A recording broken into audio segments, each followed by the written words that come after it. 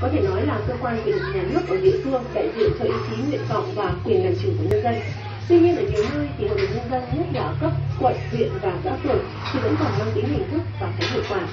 Cuộc bầu cử ngày 22 tháng 5 tới đây chính là cơ hội để các cử tri lựa chọn ra những người có thể nâng cao được chất lượng hoạt động của hội đồng nhân dân các cấp. Cơm mà chỉ có cơm chan nước mắm thôi. Mà con mèo nó ăn gì đó ngon phải không? Ăn cơm không chan với nước mắm nha mèo.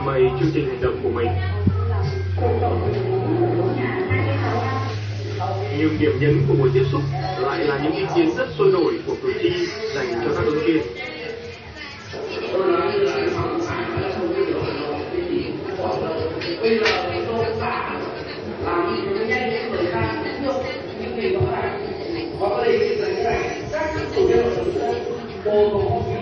cho chúng tôi biết gì là giao tự đề định là của tự ý là nữa bắt buộc vì nó là ở dân chúng tôi sẽ có cái đấy là cái một vấn đề đất đai nhà nên trong điều kiện của chúng tôi đề nghị các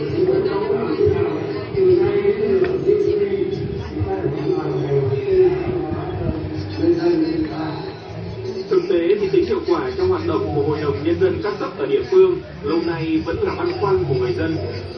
Người dân đặt niềm tin vào những đại biểu dân cử đại diện cho họ. Nhưng kết quả họ nhận được thì nhiều khi lại không tương xứng với niềm tin ấy. Thậm chí đã có lúc Quốc hội đã phải cho phép thí điểm bỏ mô hình Hội đồng Nhân dân cấp quận, huyện và xã phường ở nhiều địa phương. nhân dân nói lên nguyện vọng rất nhiều